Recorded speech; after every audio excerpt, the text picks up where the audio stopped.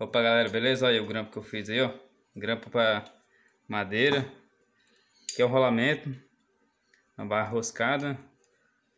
Chapa, só dei uma porca aqui. É bem simples. Aqui tá outra parte dele.